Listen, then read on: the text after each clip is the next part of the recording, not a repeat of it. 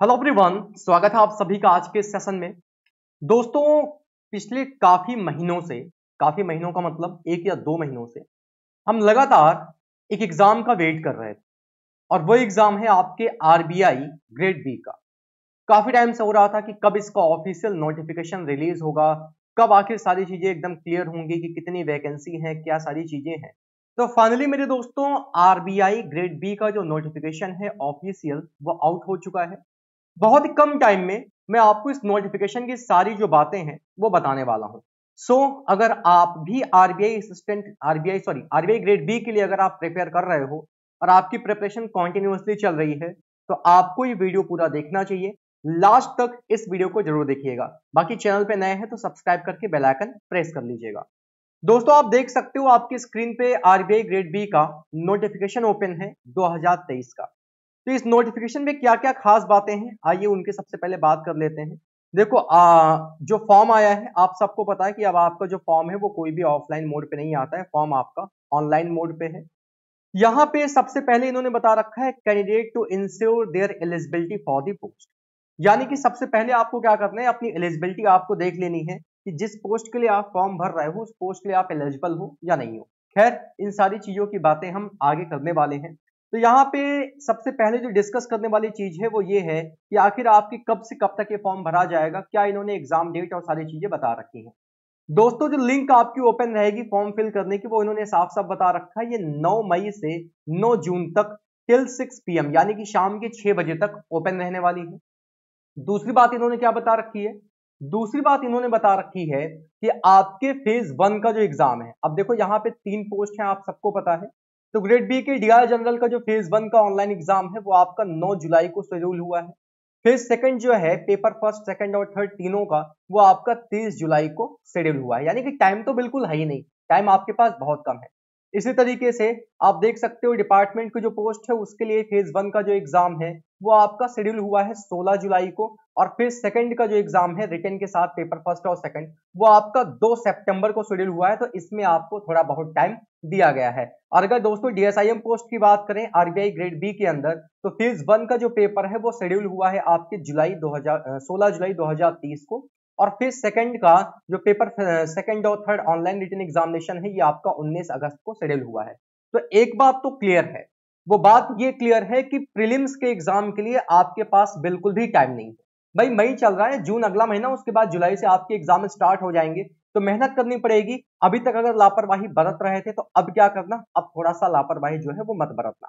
चलिए, आगे चलते हैं। आगे देखो, ये तो इंपॉर्टेंट डेट हो गई। इंपॉर्टेंट डेट में हमारे लिए दो बातें जाननी इंपॉर्टेंट होती हैं। पहली बात, कि आपका फॉर्म कब से कब तक फिल किया जाएगा एंड सेकंड थिंग इज़ कि आपका जो एग्ज़ाम है, वो कब होना है। दोनों बातें मैंने आपको बता दी। जरा आगे चलिए।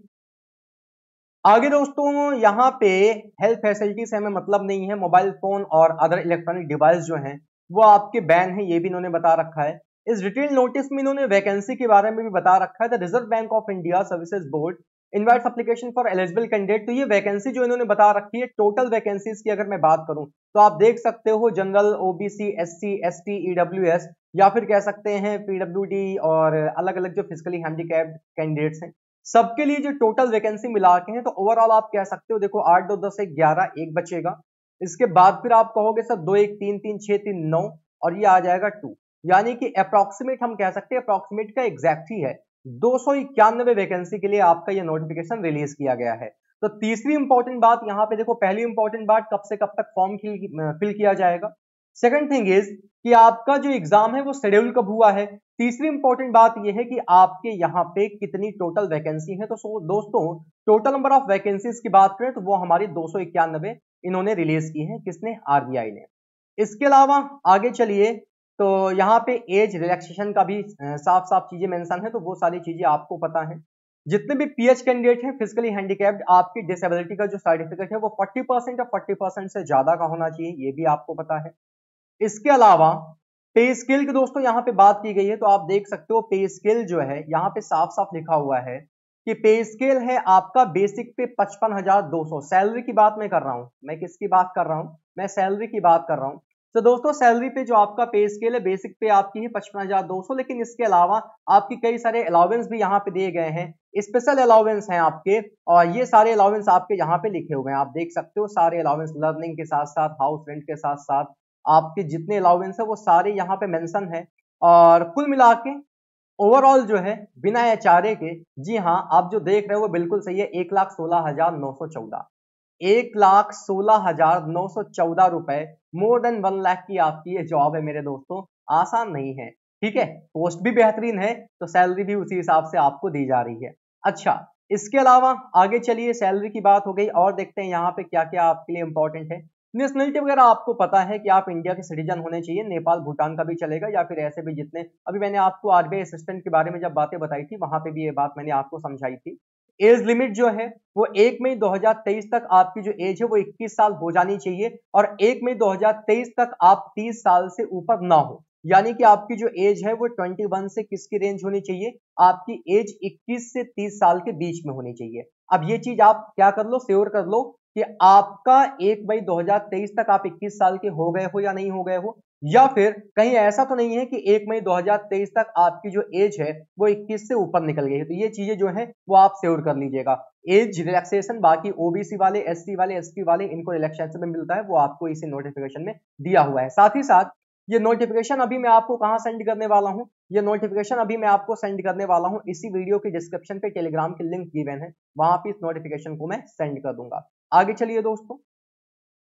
और देख लीजिए यहाँ पे क्या इंपॉर्टेंट है तो यहाँ पे क्वालिफिकेशंस की बात कर लो। तो दोस्तों ग्रेड बी की अगर जनरल पोस्ट की बात करें तो उन्होंने बता रखा है कि ग्रेजुएशन आपका होना चाहिए, और या फिर अगर ग्रेजुएशन नहीं है तो कोई भी इक्विवेलेंट आपके ग्रेजुएशन के साथ प्रोफेशनल डिग्री होनी चाहिए लाइक बीटेक वगैरह। 60 परसेंट मार्क्स आपके होने चाहिए अगर आप जनरल कैंडिडेट हैं। और एस सी वाले अगर आप हैं तो 50 परसेंट आपके मिनिमम मार्क्स होने चाहिए। ये चीज़ें इन्होंने यहाँ पे साफ़ साफ़ बता रखी हैं।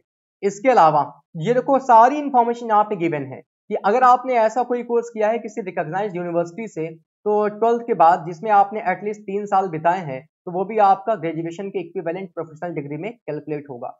या फिर पीजी की अगर बात करोगे तो पीजी में यहाँ पे देखो लिखा हुआ है any such course from a recognise university institute that is taken after graduation and at least two year duration recognise यानी कि अगर पीजी आपने कर रखा है, अपने ग्रेजुएशन के बाद दो साल का तो उस पर भी दोस्तों आपको वो भी आपका पीजी कंसिडर होगा। कुल मिला के इंटर के बाद अगर आपने तीन साल बिताए हैं तो तीन साल बिताने का मतलब है कि वो आपका ग्रेजुएशन माना जाएगा प्रोफेशनल डिग्री के अंदर। इसी तरीके से अगर आप आरबीआई ग्रेड बी के डिपार्टमेंट पोस्ट की बात करोगे तो यहाँ पे इन्होंने बता रखा है मास्टर डिग्री आपकी होनी चाहिए इकोनॉमिक्स में। इकोनॉमिक्स में मास्टर डिग्री का मतलब पीजी होना चाहिए, ठीक है? प्रिंसिपल कॉन्स्टिट्यूंट में। और syllabus namely N M M S C आपका होना चाहिए। किस पे? क्वानिटेटिव इकोनॉमिक्स में या फिर मैथमेटिकल इकोनॉमिक्स में या फिर फाइनेंशियल इकोनॉमिक्स में business economics agricultural economics industrial economics ये सारी चीज़ें आपको यहाँ पे बताई गई है। अगली बात करेंगे तो यहाँ पे देखो सारी चीज़ें मेंशन है। इधर बात करेंगे डीएसआईएम पोस्ट के लिए तो यहाँ पे भी इन्होंने बता रखा है कि मास्टर डिग्री आपकी होनी चाहिए स्टैटिक्स में मैथमेटिक्स स्टैटिक्स में मैथमेटिकल इकोनॉमिक्स में इकोनॉमिक्स में और स्टैटिक्स में सारी चीज़ें आपके यहाँ पे अप्लाइड स्टैटिक्स गिवन है। Informatics with minimum fifty percent marks भी आपके होने चाहिए। तो क्वालिफिकेशन तो मेरे हिसाब से आप सबको पता है कि आप कौन कौन सी पोस्ट के लिए एलिजिबल हो। इसके अलावा दोस्तों अगर हम बात करें तो यहाँ पे इन्होंने हमको बता रखा है कि ऑनलाइन एग्जामिनेशन का जो फ़ेज़ वन है वो कौन कौन से स्टेट में उसके सेंटर बन रहे हैं तो पूरी लिस्ट आपके सामने है कौन से स्टेट में आपका सेंटर आ रहा है आप ये भी देख सकते हो। फिर सेकंड के जो सेंटर है उनकी लिस्ट इन्होंने यहाँ पे दे, दे रखा है कि फिर सेकंड के एग्ज़ाम आपके कहाँ कहाँ होने वाले हैं। तो ये तो आपके सेंटर की लिस्ट हो गई। इसके अलावा, दोस्तों फ़ीस की बात करें तो S C S T PW D candidate जितने हैं, उनको सौ रुपए प्लस एटीन परसेंट जीएसटी पे करना है। जनरल ओबीसी ईडब्ल्यू जितने कैंडिडेट हैं, उनको आठ सौ पचास रुपए प्लस एटीन परसेंट जीएसटी पे करना है। और अगर कोई स्टाफ का है तो उसके लिए कोई पैसा नहीं यानी कि ऑलरेडी अगर आप आरबीआई में जॉब कर रहे हो तो उसके लिए कोई पैसा नहीं है। वो आपका फ्री है। इसके अलावा ऑनलाइन आपको अप्लाई करना है। आगे यही इन्फॉर्मेशन गिवन है, कैसे अप्लाई करना है फ़ोटो का साइज़ क्या होना चाहिए? लास्ट डेट इन्होंने बता रखा है 9 जून है तो ये ध्यान रखिएगा लास्ट डेट का वेट मत करिएगा। लास्ट डेट के पहले ही फॉर्म को फिल कर दीजिएगा। तो इतनी आपकी इंपॉर्टेंट इन्फॉर्मेशन है। बाकी अगर आप में से कोई बिल्कुल नया है, जिसको यही नहीं पता कि हमारे एग्ज़ाम में क्या क्या चीज़ें पूछी जाती हैं तो कहीं भटकने की ज़रूरत नहीं है। सब कुछ आपको इसी नोटिफिकेशन में दिया गया है कि आपके कौन कौन से पेपर होने वाले हैं। ये देखो साफ़ साफ़ लिखा हुआ है। पेपर वन आपका इकोनॉमिक्स और सोशल इश्यूज़ का होने वाला है। ऑब्जेक्टिव टाइप होगा टाइम कितना मिलेगा नंबर कितने होंगे, सारी चीज़ें आपको यहाँ पे मेंशन करके बताई गई हैं फ़ेज़ सेकंड और फ़ेज़ थर्ड के अंदर। तो जो इंपॉर्टेंट इन्फॉर्मेशन थी, वो मैंने आपके साथ शेयर कर दी। इस छोटे से वीडियो में मैक्सिमम इन्फॉर्मेशन शेयर करना ही मेरा मोटिव था। इस पीडीएफ को मैं अभी सेंड कर देता हूँ टेलीग्राम पे तो वहाँ से आप लोग क्या करिएगा डाउनलोड करके अगर डिटेल में पढ़ना चाहते हो तो डिटेल में भी पढ़ लीजिएगा। टेक केयर एवरीवन अच्छे से अपने आप को प्रिपेयर करिए। मिलते हैं आपसे क्लास में। Thank you